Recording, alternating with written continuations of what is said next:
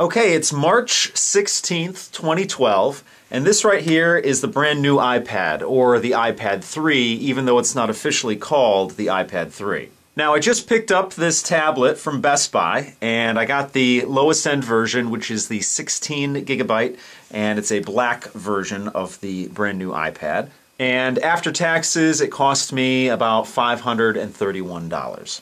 So let's take a quick tour around the box. Everything looks pretty familiar to the previous iPads. You have a representation of the iPad on the front. You have some iPad branding on the sides.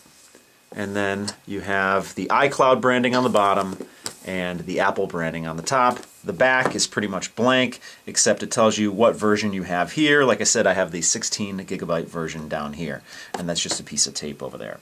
So without any further ado, let's open this thing up. And I got my trusty cutter here, so let me just get the plastic off here.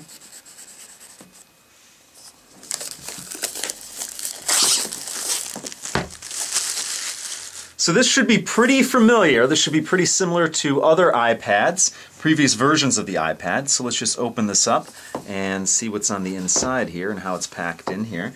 And like I said, pretty much identical. You have your iPad here in the plastic casing. Let's pull this out here.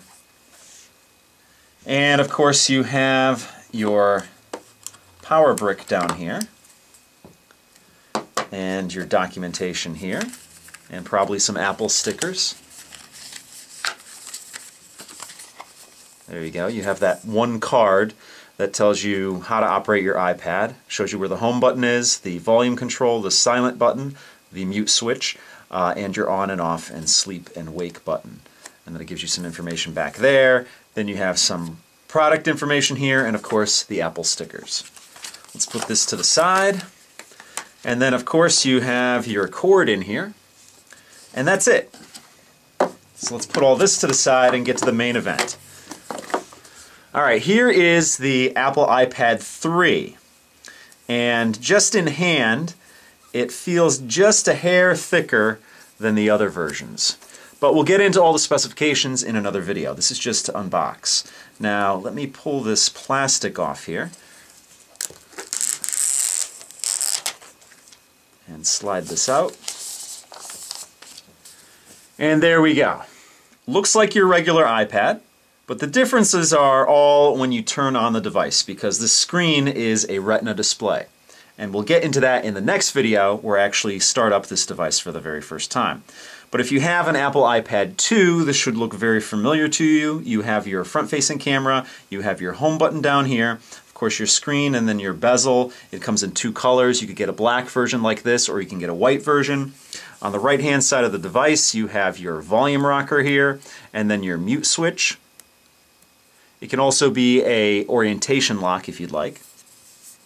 On the top of the device you have your power button here and your 3.5 millimeter headphone jack over here and then you have a mic right here. On the right side of the tablet there's nothing there.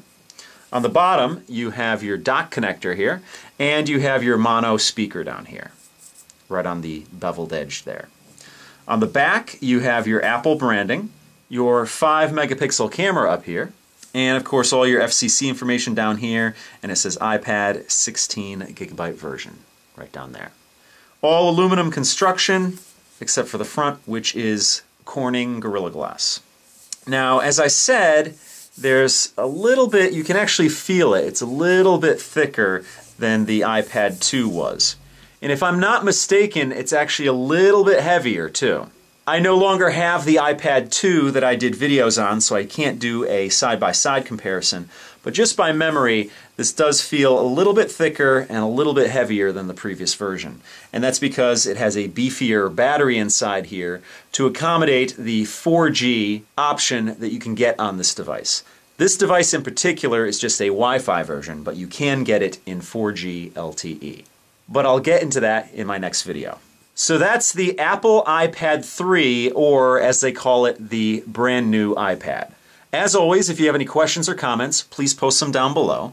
If you like what you see, please subscribe. And give me a thumbs up or favorite this video because it helps out my channel.